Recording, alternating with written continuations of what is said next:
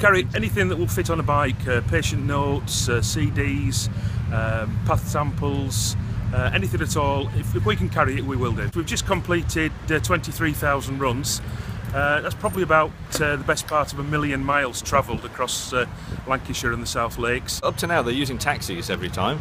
So in the, the evening hours and the weekends, uh, I think we're saving a substantial amount of money, and they know they can rely on us. we turn out quickly and we do a good job. Well, I think we're all passionate motorcyclists. That's the first thing, and to be able to combine that passion with helping in the community is just a perfect add-on.